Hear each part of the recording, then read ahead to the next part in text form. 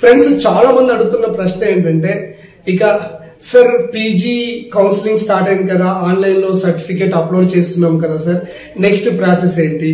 ఇది ఒక డౌట్ అయితే ఇంకొక డౌట్ ఏందో తెలుసా? సార్ ఆన్లైన్లో నాకు ఆ సర్టిఫికేట్ లేదు ఈ సర్టిఫికేట్ లేదు ఇది ఉంటే బాగుంటుంది అది లేకపోతే ఏం కాదా ఇది లేతే ఏం కాదా ఇది పక్కానా ఏదో పక్కానా అని నేర్చుకున్నారు విద్యార్థులు.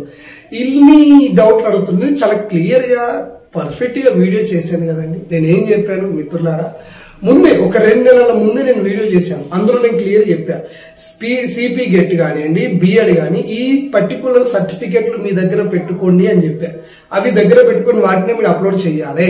సార్ నాకు ఇన్కమ్ సర్టిఫికేట్ లేదు సార్ రెండేళ్ళ కింద ఉంది నడుస్తుందా అంటే నేను నడదని చెప్పాను నువ్వు నడుస్తుంది అనుకుంటున్నావు. పెట్టు నీకు అప్పుడు రియంబర్స్మెంట్ రాదు నీకే అర్థమవుతుంది. కాబట్టి అలాంటి చేయకండి చూసుకోండి.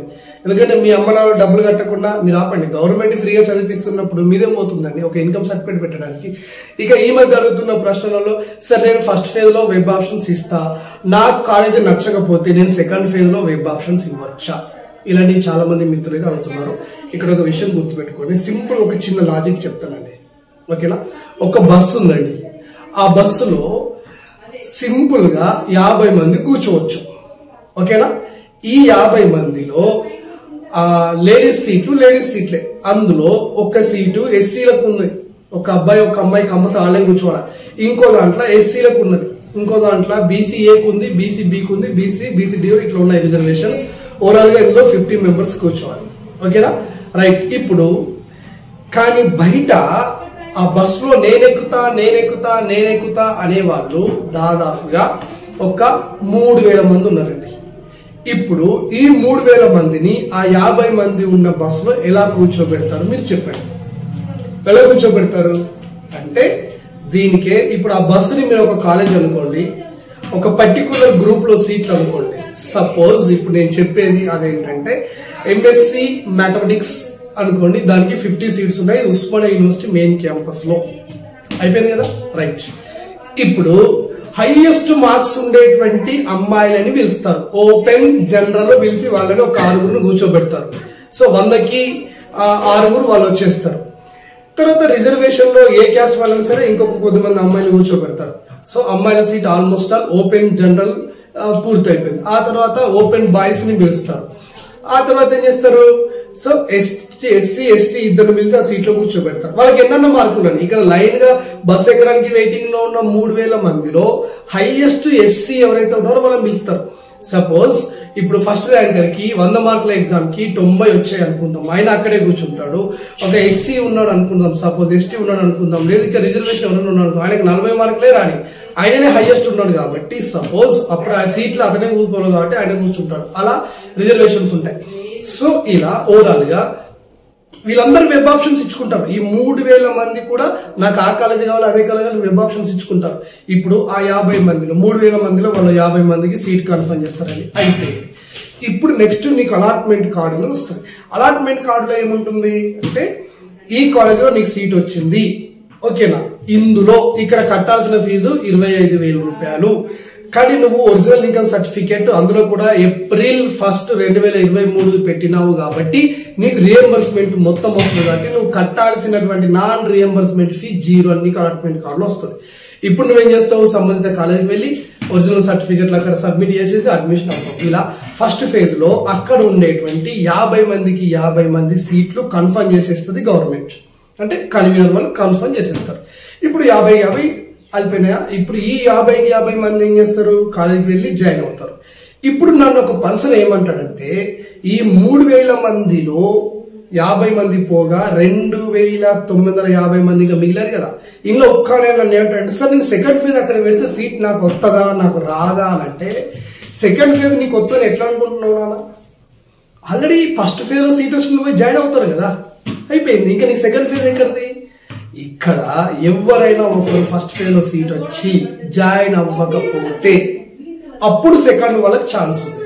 అదే వాళ్ళకి ఛాన్స్ ఉంది అంటే ఈ రెండు వేల మూడు వేల మందిలో యాభై మందిని తీసేస్తే యాభై ఒకటో వ్యక్తి ఉంటాడు కదా అతనికి ఛాన్స్ ఉంటుంది. లేదంటే ఎవరైతే అతను జాయిన్ అవ్వలేదు సపోజ్ ఆయన ఎందుకు జాయిన్ అవ్వాలంటే బిఎడ్ ఇంట్రెస్ట్ ఉంది బిఎడ్ వెళ్దాం అనుకున్నాడు. లేదు అతనికి ఐసెట్ ఇంట్రెస్ట్ ఉంది ఐసెట్ వెళ్దాం అనుకున్నాడు.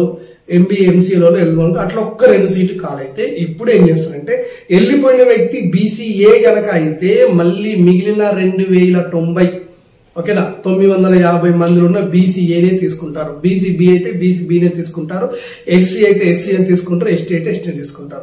ఇక మీరు చాలా మంది ఏమనుకుంటున్నారంటే సెకండ్ ఫేజ్లో మా కొరకు కొన్ని సీట్లు ప్రత్యేకించి పెడతారు. తల్లి కదా ఒక పెద్ద కొడుకుకి నాలుగు బజ్జీలు ఇచ్చి అయ్యో చిన్న కొడుకు రాలేడు వాడు వచ్చిన తర్వాత నాలుగు తింటాడు పక్కకు పెడితే తల్లి ఇక్కడ యూనివర్సిటీ అట్లా ఉండవు. ఎవరికి టాలెంట్ ఉంటే వాళ్ళకి. ముందు ఎవరైతే మార్కులు ఉన్నాయో వాళ్ళకి ఇచ్చేస్తారు. రూల్స్ ఆఫ్ రిజర్వేషన్ ఫాలో అవుతారు. తరువాత సెకండ్ ఫేజ్కి వస్తాం. సార్ నాకు థర్డ్ ఫేజ్లో అయినా రాదా సార్? అరే థర్డ్ ఫేజ్లో వస్తారు మీరు ఎట్లా అనుకుంటారండి అంటే మీ కొరకు అనేది సపరేట్ పెడతా అనుకున్నారా? బెటర్ అట్లా. కాబట్టి గుర్తుపెట్టుకోండి మిత్రుల ఇక్కడ యాభై సీట్లు ఒక కాలేజీలో ఉన్నాయి అంటే అందులో మళ్ళీ ఇంకా ఇందులో రెగ్యులర్ సెల్ఫ్ ఫైనాన్స్ అని మళ్ళీ రెండు రకాలుగా ఉంటుంది. కాబట్టి రెగ్యులర్ సీట్ వచ్చినా సెల్ఫ్ ఫైనాన్స్ వచ్చినా యూనివర్సిటీ క్యాంపస్లో డబ్బు కట్టాల్సిన అవసరం లేదు. మీరు ఒరిజినల్ ఇన్కమ్ సర్టిఫికేట్ పెడితే మీకు ఏమి ఇబ్బంది లేదు. దాని గురించి ఇబ్బంది పడకండి. సెల్ఫ్ ఫైనాన్స్ వాళ్ళకి హాస్టల్ కూడా ఇస్తుందని చేసి నేను ప్రూఫ్స్తో నిరూపణ చేసిన. అది నా యూట్యూబ్ ఛానల్లో ఉంది. సబ్స్క్రైబర్ అందరూ కనబడుతుంది చూడండి. కాబట్టి మీరు సెకండ్ ఫేజ్లో సీట్ వస్తుందా రాదా? థర్డ్ ఫేజ్లో వస్తుందా రాదా అని మీరు ఇవన్నీ పెట్టుకోకండి. అసలు నిజాం కాలేజ్ కానీ కోటి ఉమెన్స్ కాలేజ్ కానీ ఉస్మాన్ యూనివర్సిటీ మెయిన్ క్యాంపస్ కానీ ఫస్ట్ ఫేజ్లో ఫుల్కి ఫుల్గా సీట్లు కేటాయిస్తారు. వాళ్ళందరికందరు జాయిన్ అయ్యారు అనుకోండి నీకు సెకండ్ ఫేజ్లో అలా సీటే కాలేదు నీకు అది కాలేజ్ ఎందుకు కనబడుతుంది ఆన్లైన్లో కనబడదు. కాబట్టి మీరు సెకండ్ ఫేజ్ మీద ఆశ పెట్టుకోవద్దు. ఎక్కడ కాలేజీలో అలాట్మెంట్ సీట్ అయిందో ఆ కాలేజీలో జాయిన్ అవ్వాలి. గంతే. జాయిన్ అయిన తర్వాత అప్పుడు సెకండ్ ఫేజ్ వెబ్ ఆప్షన్స్ పెట్టుకోవాలి. వస్తే వస్తుంది లేకపోతే లేదు. గుర్తు పెట్టుకోవాలి సెకండ్ ఫేజ్ మీరు వెబ్ ఆప్షన్స్ కనుక ఇస్తే ఫస్ట్ ఫేజ్లో మీకు సీట్ ఎక్కడైతే వచ్చిందో అది క్యాన్సిల్ అవుతుంది అది గుర్తు పెట్టుకోవాలి అంటే ఇప్పుడు సపోజ్ మీకు నిజాం కాలేజ్లో సీట్ వచ్చింది. మీరు ఏం చేశారు చూద్దాంలే కాకతీయ యూనివర్సిటీని రెండో వెబ్ ఆప్షన్లో పెట్టారు. ఇప్పుడు కాకతీయ సీట్ వచ్చింది. మళ్ళీ మీరేమనుకుంటారంటే అది నచ్చలేదు కాబట్టి నేను నిజాం కాలేజీలో ఉండొచ్చు కదా అంటే అట్లా కుదరదు. ఎందుకంటే మీ కాకతీయ సీట్ వచ్చిందంటే మిమ్మల్ని ఇక్కడ నుండి తీసుకెళ్ళి అక్కడ వేసిండు. ప్లస్ ఈ నిజాం కాలేజ్ని సెకండ్ ఫేజ్లో కోరుకున్న ఆయన తీసుకొచ్చి నీ ప్లేస్లో సెట్ చేస్తాడు. ఇది చాలా మందికి అవగాహన లేకపోవడం వల్ల వెబ్ ఆప్షన్స్ తక్కువ ఇచ్చి పోగొట్టుకుంటున్నారు. ఇక పోతే నాకు పదహారో ర్యాంక్ వచ్చింది నాకు ఇరవై మూడో ర్యాంక్ వచ్చింది నాకు ఇరవై ఐదో ర్యాంక్ వచ్చింది సార్ నాకు మెయిన్ క్యాంపస్ వస్తుందా? నేను చెప్తున్నా ఎవరన్నా మిమ్మల్ని అడిగితే వస్తుంది అనగానే రెండు కాలేజీలు పెట్టి నోరు మూసుకొని కూర్చుంటున్నారు. తప్పండి. మీరు స్టేట్ ఫస్ట్ టెన్ ర్యాంక్ ఉన్నా పర్లేదు మీరు కనీసం పదిహేను కళలు పది కళలు వెబ్ ఆప్షన్ ఇవ్వండి. నేను నా మాట మీరు వినండి. కనీసం ఐదు కళలు అయితే వెబ్ ఆప్షన్ ఫస్ట్ టెన్ ర్యాంకర్లు. ఫస్ట్ ట్వంటీ ర్యాంకర్లు కనీసం పదిహేను కళలు అయితే మీరు వెబ్ ఆప్షన్ ఇవ్వాల్సిందే. ఆ పదిహేను అవసరం లేదంటే అట్లీస్ట్ పదైనా ఇవ్వండి. ఫస్ట్ ఫిఫ్టీ ర్యాంకర్లు కనీసం ఫార్టీ అట్లీస్ట్ ఇరవై కాలేజీలు అయితే కనీసం మీరు ఇచ్చుకోండి. ఫస్ట్ వన్ హండ్రెడ్ ర్యాంకర్లు ఉంటే కనీసం మీరు నలభై నలభై ఐదు కాలేజీలు వెబ్ ఆప్షన్ పెట్టుకోండి.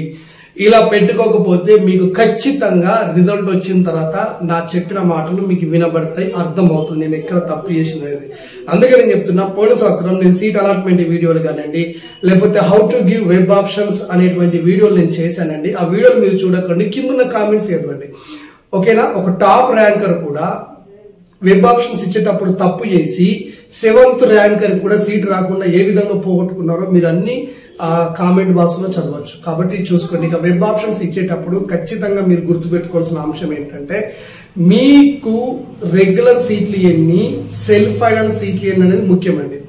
సో రెగ్యులర్ కాలేజ్ రెగ్యులర్ ఒకే కాలేజీలో మీరు ఏ కాలేజ్ సెలెక్ట్ చేసుకున్నా సరే ముఖ్యంగా గవర్నమెంట్ కాలేజీలో ముందు రెగ్యులర్ సీట్లకి వెబ్ ఆప్షన్ ఇచ్చి నెక్స్ట్ అదే కాలేజీలో మళ్ళీ అదే గ్రూప్కి అదే సంబంధించిన సబ్జెక్ట్కి మళ్ళీ అంటే ఎట్లా మీకు పీజీలో అదే ఉంటుంది కాబట్టి మళ్ళీ ఏం చేయండి?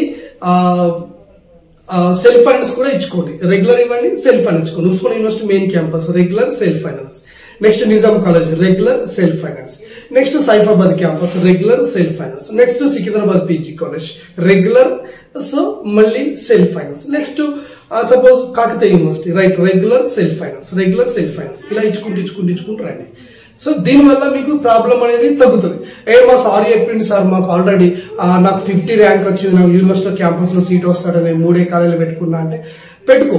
కానీ నష్టం మీ సార్కు జరగదు. ఉచిత సలహాలు ఎవరైనా ఇస్తారండి. అనుభవం ఉండాలి అవగాహన ఉండాలి.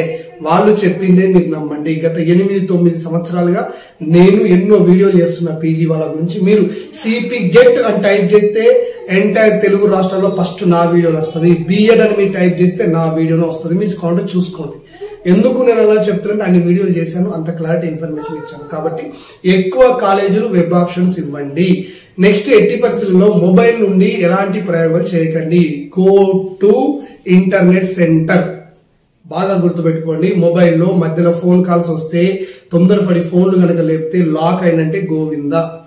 ఓకేనా? అనుకోకుండా ఒక వేరే ఇప్పుడు ఒక నలంద కాలేజ్ యూనివర్సిటీ కాలేజ్ అని క్యాంపస్ అని సీట్ ఇవ్వాల్సిన అని ఒక అతను వెబ్ ఆప్షన్ ఇస్తాను యూనియన్ కాలేజ్ అనేది దానికి ఇచ్చిండు. యూనివర్సిటీ యూనియన్ దగ్గర దగ్గర ఉంది అర్థం కాదు ఆ యూనియన్ ఏ కాలేజ్ ఎక్కడ ఉంది ఏదో ఖమ్మంలో ఉంది. మెయిన్ క్యాంపస్ సీట్ రావాల్సిన వాడికి ఆ ఖమ్మంలో ఉన్న కాలేజ్ సీట్ వచ్చింది. అవుట్. నాతో మళ్ళీ మాట్లాడి సార్ నేను మొబైల్లో ఇచ్చిన సార్ అంటే ఎవరు చేసుకోమన్నాడు.